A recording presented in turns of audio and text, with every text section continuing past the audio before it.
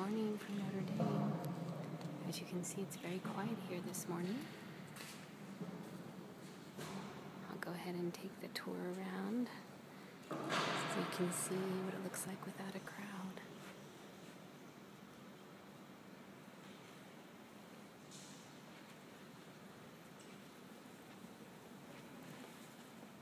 This main altar and the rose window on one side.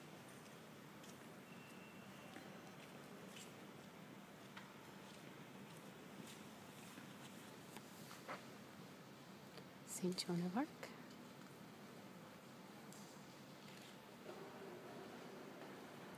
St. Teresa Lisieux.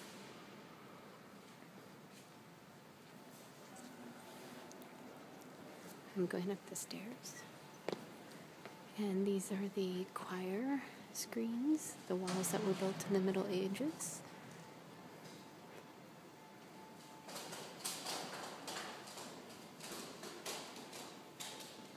The rectory, which is not usually open.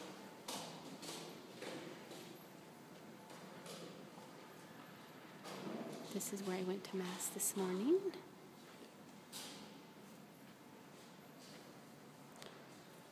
This is St. Denis.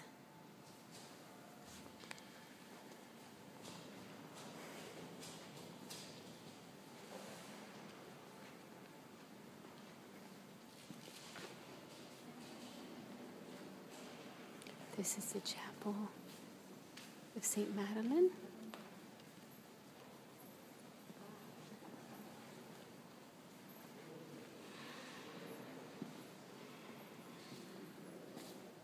This is the chapel of Saint Galamun.